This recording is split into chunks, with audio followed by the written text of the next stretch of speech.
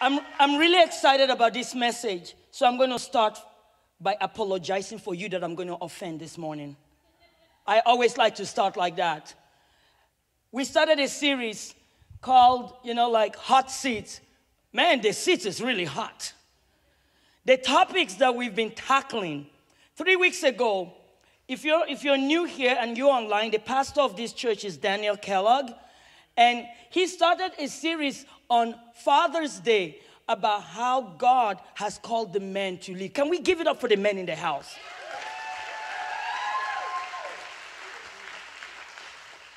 A lot of people get offended.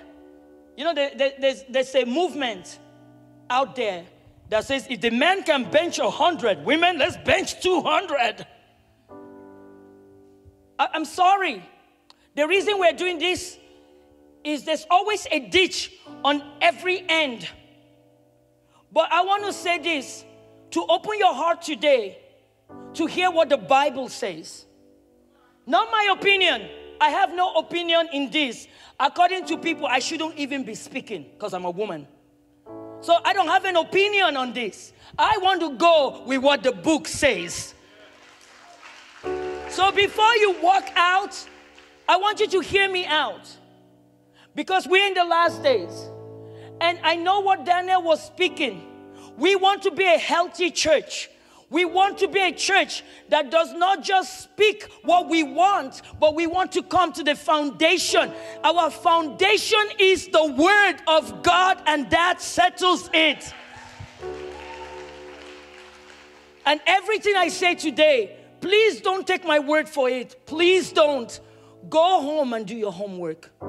Go read the Bible. Talk to people that you respect and say, This is in the Bible. What does it mean? Because we are going to be tackling some things today. When Daniel spoke three weeks ago, they had a meeting. And in the meeting, they were saying, Oh, God has called the man to be a watchman, but the woman he's called as a helper. And Daniel said everybody in the meeting were uncomfortable with the word helper. And I'm thinking, I wish I was in that meeting. I love to help people, I'm a helper. But people were uncomfortable with a word that I believe the culture have made us look down on. When you say helper, all of a sudden there's an imagination in your brain. She's in the kitchen with an apron making biscuits and gravy. That's not what it means. Okay?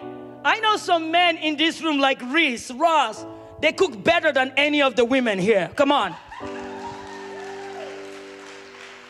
So please don't stereotype me. If you if you ask me to make food for you, I always say bring the food when you come. Because sometimes it doesn't pan out the way I planned it. So today I want to break all our our theology and say, let's throw our theology away and come back to the Word of God. What does God say?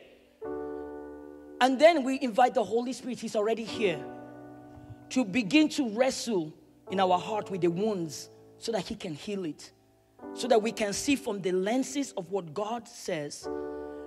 Before I, before I pray, I want to say, I am not speaking on this topic without first knowing that there are people in this room that have been hurt by leadership. So when you hear the word helper, submit, you have a picture of an abusive man in your life. And I'm sorry. If that man was a real man, he would have taken care of you. Actually, he was a boy. Because the scripture does not talk to boys, God talks to men. And a man is a man that will love his wife like he loves himself. And so, if there's a guy that has hurt you and he's been selfish, boys, it's time to man up. Stop playing video games and start loving your wives.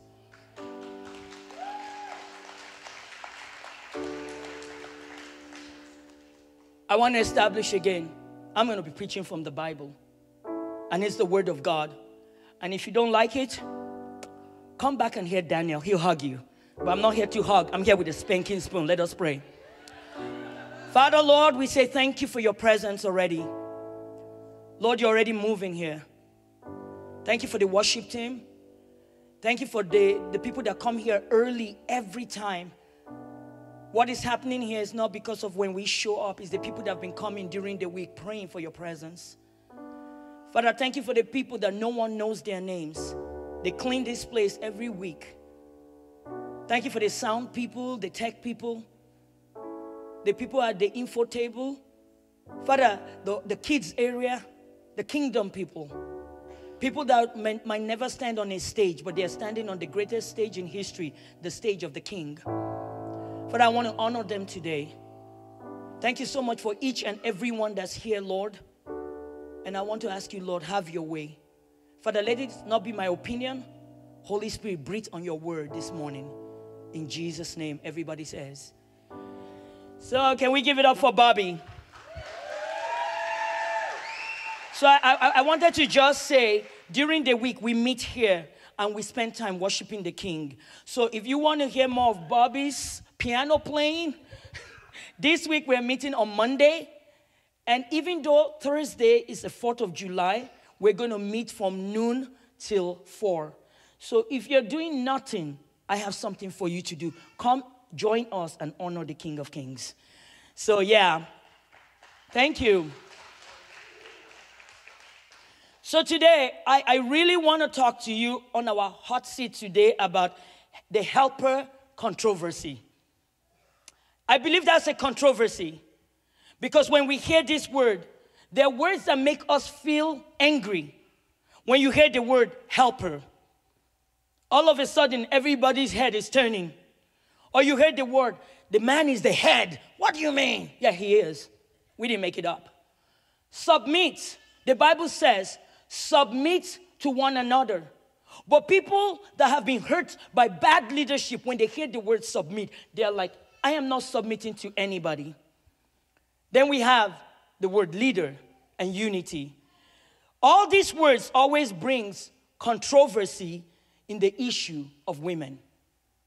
So today I'm going to break it down to what the Lord says. I'm going to go to Genesis 1 27 to 28. And this is what he said. So God created human beings in his own image. In the image of God, he created them. Can you say the next two words? Male and hello. It didn't say God created male, period. Let's move on. Male and female. He created them. Then God blessed them. He didn't just bless the man, neither did he just bless the woman. The Bible says God blessed them and said, Be fruitful and multiply. If you know biology, men cannot multiply without women. So God was not saying to the man, You be fruitful and multiply. The only thing he will multiply is, you know, men, they're always building something. If God had left men by themselves, we will have nice houses all over, but there'll be no kids. Men are builders, and God knew they needed women. So he said, Fill the earth and govern it.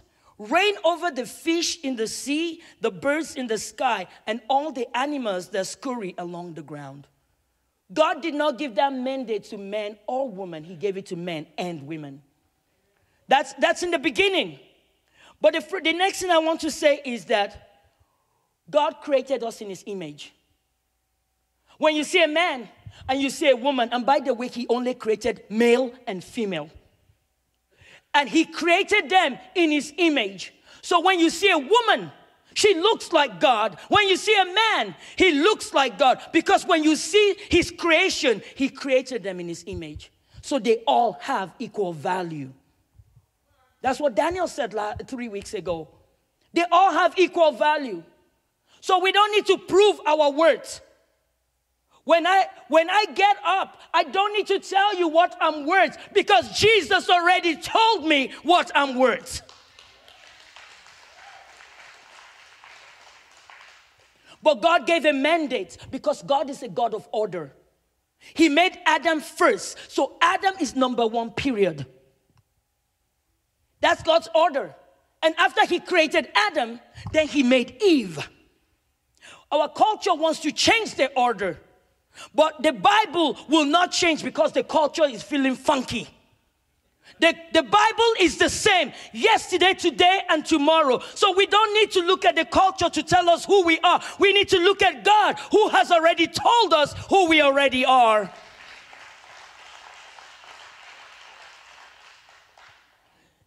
Genesis 2 7 and 8.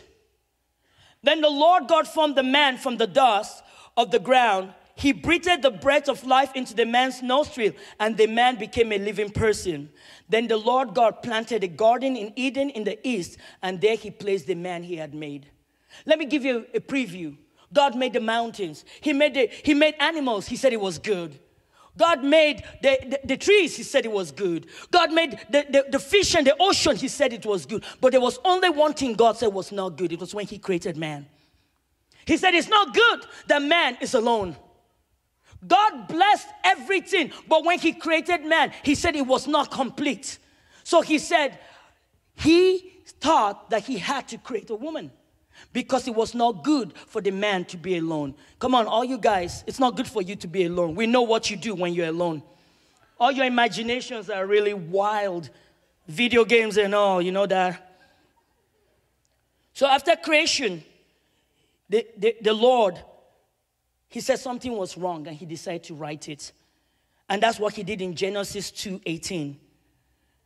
Then the Lord God said, It's not good for the man to be alone. I'll make a helper who is just right for him. Stop. This was the word that people were having problem with. God says, I will make a helper. He didn't stop there. He said, I'll make a helper that's just right for him. In verse 21, so the Lord God caused the man to fall into a deep sleep. While the man slept, the Lord God took out one of the man's rib and closed and, and closed up, up the opening. Then the Lord God made a woman from the rib, and he brought her to the man. At last the man exclaimed, This one is bone from my bone, flesh from my flesh, and she'll be called what? God, God made that happen. Because she was taken from man. This explains why a man leaves his father and mother and is joined to his wife, and the two are united as one. You see, when God decided to make Eve, He didn't do it from the dust of the earth again. No, He did surgery. And out of Adam, He took out one rib and made a woman. So, guys, if you want your rib back, I have the way you get it. You can't get the rib back, you get a wife, you get a woman. That's how it works. Because when he took your rib, he turned your rib into something and she became a woman. So some people, oh, I don't want her problem. No, you got her. Good, bad, and ugly, she's yours. So if you're married to someone, you should have seen that coming up before you got married. But when you get married, it's still dead do us part. You got her. When God created Eve and Adam, the first person Adam saw, who do you think Adam saw the first time God created him? Who was the first person Adam saw? God. Who was the first person Eve saw? God. So the first relationship we must have is a relationship with our Creator. So every single person in this room, if you don't have a partner yet, if you don't have a husband yet, hey, guess what? You have a creator that loves you. And don't be don't feel like you need to rush. Isaiah 54 verse 5. For your creator will be your husband so if you're here, maybe a divorce happened. Maybe you're single, you're like, man, I'm 30 and the guy has not come. Let me tell you something it's not a sin. God is your creator. He wants to be your husband. Because before you met, before I met Ross, I had a relationship with Jesus. Before Ross met me, he had a relationship with Jesus. And before you find the perfect Mr. Right, you must have a relationship with your creator. He said, For your creator will be your husband. The Lord of heaven's armies is his name. He's your redeemer, the Holy One of Israel, the God of all the earth. Take heart. You're not alone. He wants to be your husband, He wants to take care of you. To the people that are single today, I just want to say there's room for you in the kingdom of God. The word helper. That word is the one I want to tackle today. I don't want you to look at the word helper from the way you've always looked at it laundry and all those. I want you to see the word helper, what it means. In the, in the Hebrew, the word originally means bringing strength into a situation. That's the word helper. Because the helper comes to help the one that needs help. So God has given the husband the mandate. Let me tell you, it's not the woman's mandate. The mandate was given to the husband to be the watchman over his family. Now, the job of the helper is to come and help him finish the mandate that God has given to him.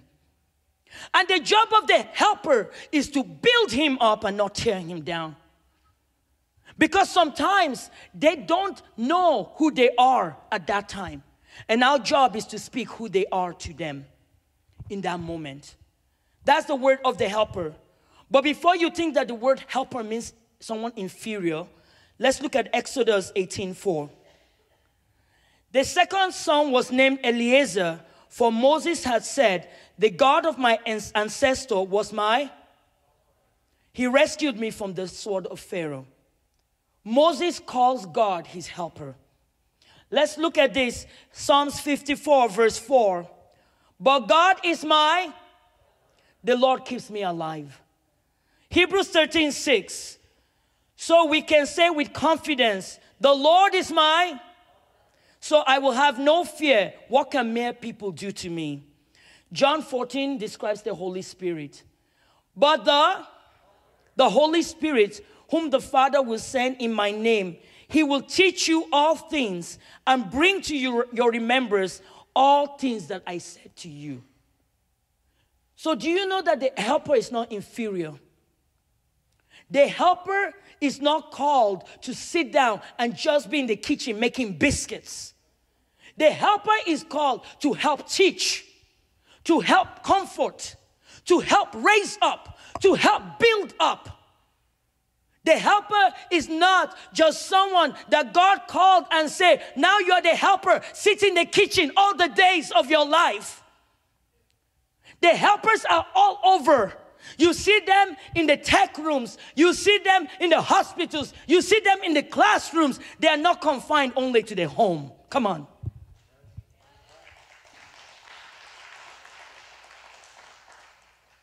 So, God being called the helper is not an inferior position.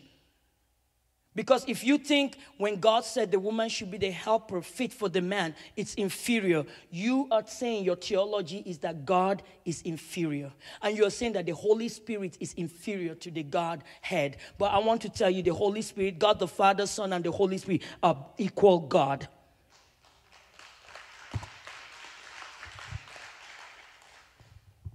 I want to show you this. Just imagine it's a million dollars. Josh gave it to me today. It's a million dollars. Let's look at this and say this is the helper's value a million dollar. God said the helper is valued at a million dollar. Now, what if the helper is crushed? Does that change the value? Does it? What if I took the helper and I stomped her on the ground? Does that change her value? Because in God's eye, she is made in his image and she is the same no matter what.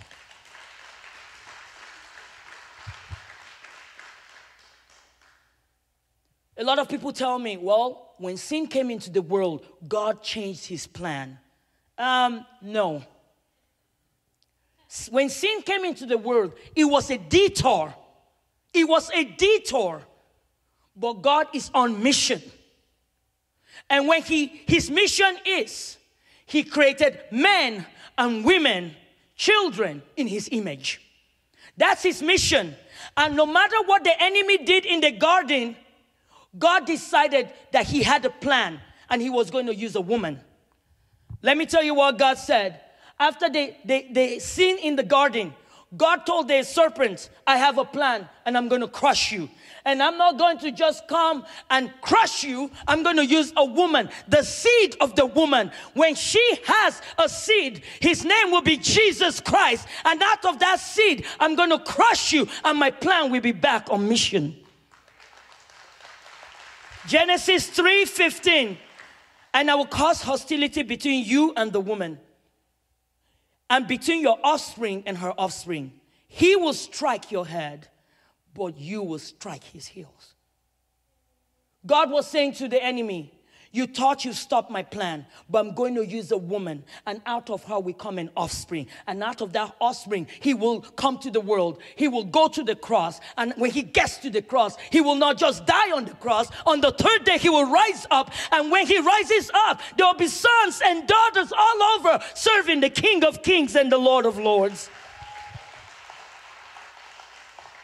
Jesus came to restore the value of humanity. A culture that does not value humanity is a culture that you should, you should be sorry for. A church that does not value the place of everybody is a church that you should be sorry for. But according to Jesus, every man, every woman, every child, every everybody has value, and we are going to follow the mandate of God.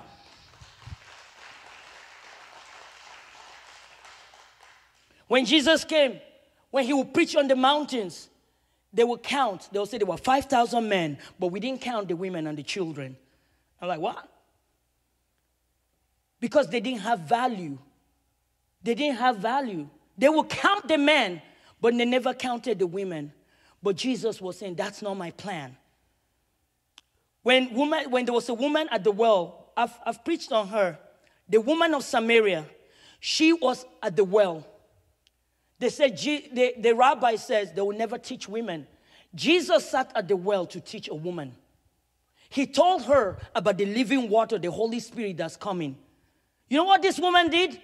She became a helper for Jesus. After she heard Jesus, she went back into all Samaria and told everybody, Come and meet this man that told me everything about me. And do you know what happened because of this woman, the helper?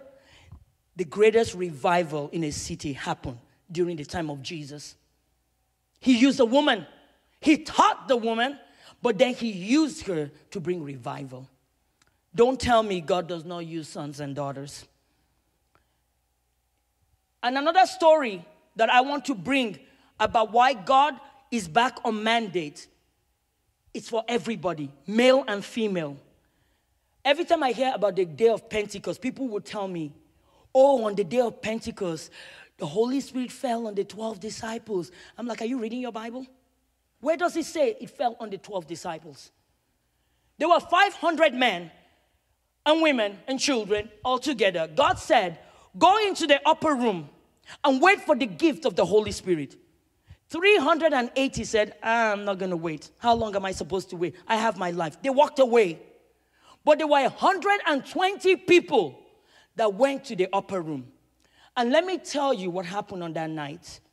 In Acts 1, when they arrived, they went to the, to the upstairs room of the house where they were staying.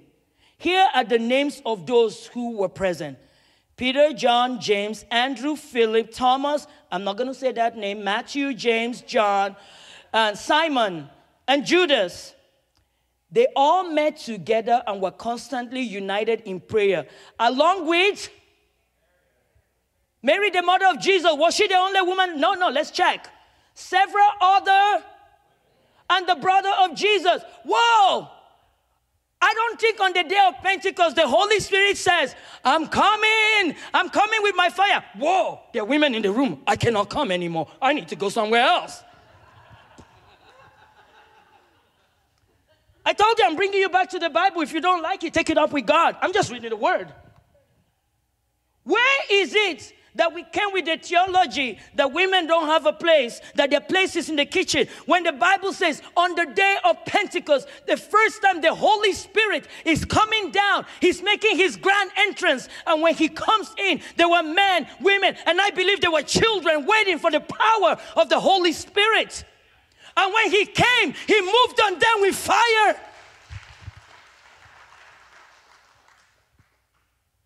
I think that light came from the pit of hell. Because the enemy knows what will happen when men, women, and children come. It's kingdom advancement, and the gates of hell cannot stop us. That's what happened in the book of Acts. That was the first time that the Holy Spirit showed up. There were men, women, and children. They were all praying, 120 of them. And the Holy Spirit did not discriminate. He came in with a plan, and the plan was I will pour out my spirit upon all of them. One of my favorite scripture, because I, I feel like we need to come back to honor. Honor. Every time I hear nowadays, nothing against the youth, you guys are cool. You look better than us sometimes. People say, the next move of God is coming through the youth. They lie to you. The next move of God is coming to the young people. They lie to you. God is a generational God. He doesn't use one and abandon the other. Actually, He uses all the generations. So if you're sitting here and you think your time is up, as long as you have breath and as long as you're sitting here, God is still going to use you for the kingdom of God.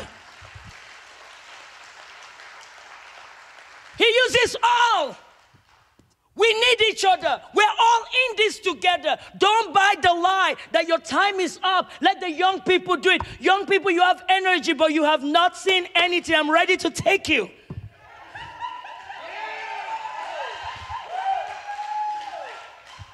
He said, We'll be like little children. I might be older, but in my mind, I'm a little child in the hands of God, and I'm not going to miss the next move of God. But you don't have to believe me. Let's see what Joel 2 says. This is one of my favorite scripture. This is what I tell the people that says, "Well, women, you know." I'm like, "Have you read the Bible?" Well, if you haven't, I have it memorized. I'll tell you.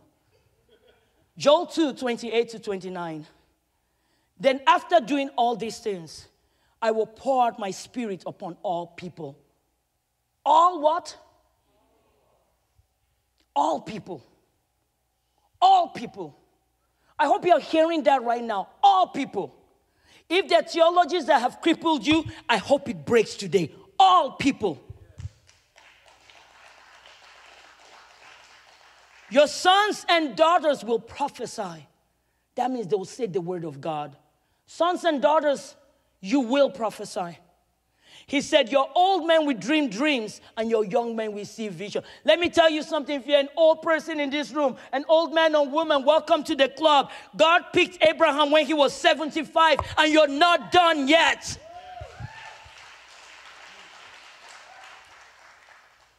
The old men and women like us, we're dreaming dreams. The young kids, vision, young men and women, you're not too young to have visions.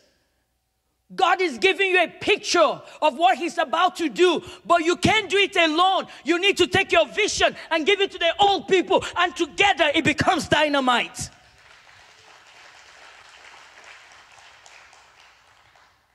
In those days, I will pour out my spirit, even on servants, men and women alike. God is saying, Let me tell you how this is going to roll.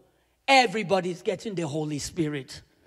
You don't need a priest. You don't need a Folake. You don't need a Daniel to, to go talk to God. You know what? When Jesus died, the curtain was open. We all have access to the King of Kings and the Lord of Lords. You don't need me. You have Him.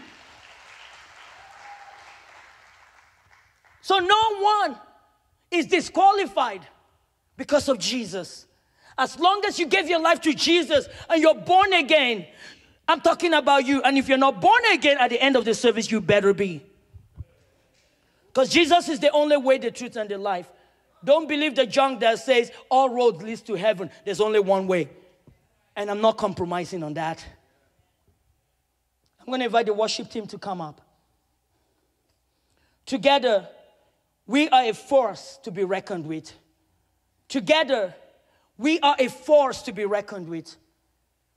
So, today, what is the controversy today? I'll tell you what it is. The controversy is the word helper. There are women in this church in Awaken that if they don't do what they do, this church is going to fall apart. I, there's so many. I, I, I, was trying to put a list together and I was like, oh my goodness, they're like a hundred. Women, women, you guys are so amazing. Can we give it up?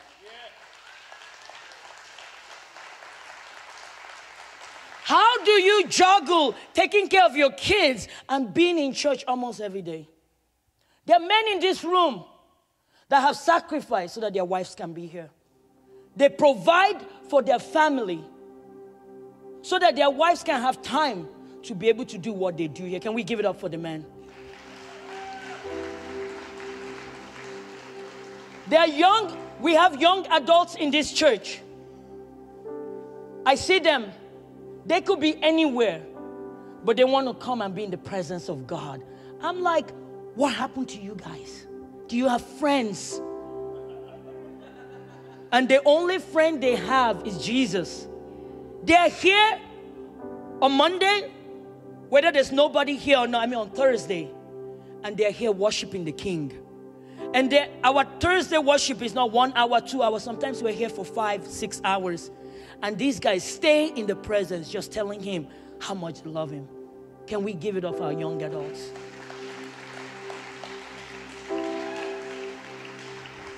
We have young kids in this place. They're already mighty warriors. That's why I love our kids programs. We're not babysitting your kids, we're raising up arrows in the hands of God. When they pray for you, oh my goodness. I remember Reese's kids. We were doing Bible study and they stood there. Worship began. Their parents, Reese and Alicia were doing worship. And I was at the back with their kids and their loud voice worshiping God. They didn't care who was there. They knew the king showed up. And who cares about you guys? They were just singing. And I'm like, how old are these kids? We have kids there that they will go after lions because they know who's with them. We have our youth. They're on fire. They'll go against any brick wall, even if it's not going to budge, they will hit it. Did you hear what Joel said? In the last days, I will pour out my spirit upon all flesh. I started thinking of the women that have impacted my life. Women in this church that if they didn't show up, don't come, there'll be garbage everywhere. We have Jen Burlingame, Jessica Kellogg, Jesse, Wonder. You see Wonder when you're coming. Kathy Anderson. If you're a woman here, you know she's she's the woman's pastor. She'll pray for you till thy kingdom come.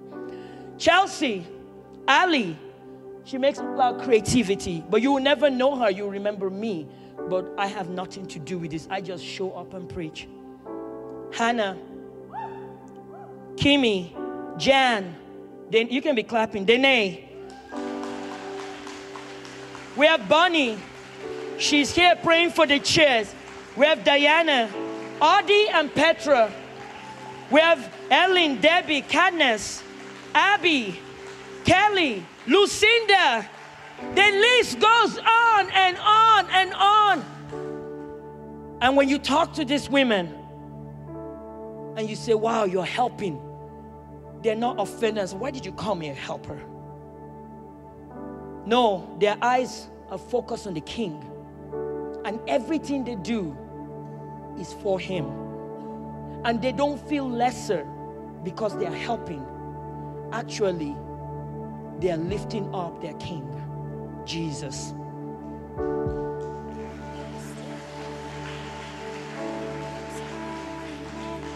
I wanted, this, I wanted this message to never leave you. Ladies, if you've been told that all you're good for is to help, I want to tell you there are many things you do, and I want to honor you today. You not only help, you, you, men, they, they don't have babies. You carry a human in your body. That's powerful. Men don't have periods. You do. I know, sorry for being gross. I just want to land the plane. You're powerful humans. And your children are blessed because of you. So I'm going to read Joel 2 again. And this is my movement. Then, after doing all those things, I will pour out my spirit upon all people. Your sons and daughters will prophesy. If you're a son or a daughter in the room, please stand up. Stand up if you're a son or a daughter. Your young men will see visions. Your old men will dream dreams. If you're an old man or a young man, can you get up and woman? I'm talking to you. In those days, I'll pour out my spirit even on servants. So if you're here, you're like, oh, I, I only serve. Stand up. Look around you. Did God leave anybody out? Because everyone is included here sons, daughters, those are the only two genders God made, and they're here. Right? Oh, I'm too old. He said the old men and the young ones. There's no excuse. We're all here. If you look around, we've all been called for the greatest outpouring of the Holy Spirit. And God is saying right now, I've called you because you have value and you are made in my image. That's what God is saying. So there's no excuse. So we're going to do something. You've taken a stand. I believe God wants to commission you. I believe that God wants to, to tell you who you are. I believe that God wants to send you out. When He pours His Spirit on you, wherever you go, you carry the Holy Spirit. Whether you're at your job, when you show up, you come in with the power of the Holy Spirit. Whether you're at home with your children, you carry the Holy Spirit. So, right now, everybody, let's lift our hands to the King.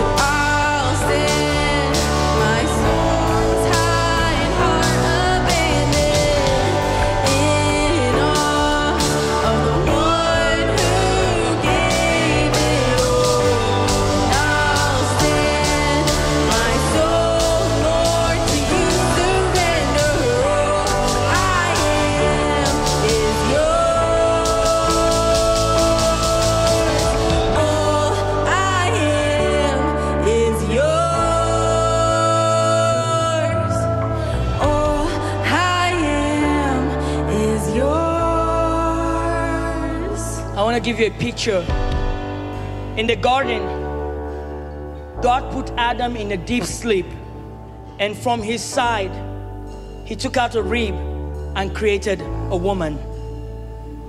2000 and something years ago, when Jesus was on the cross, his side was pierced, and blood and water gushed out.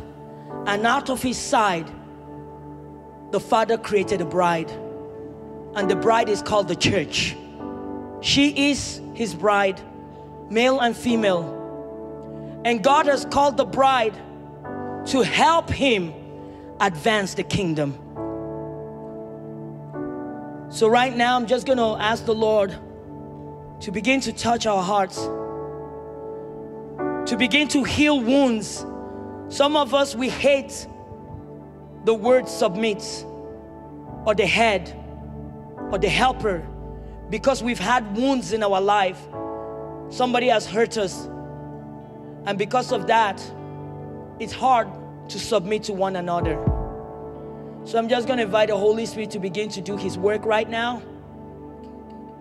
So just stand here with me as God is moving in our hearts right now, exposing what needs healing and touching those parts.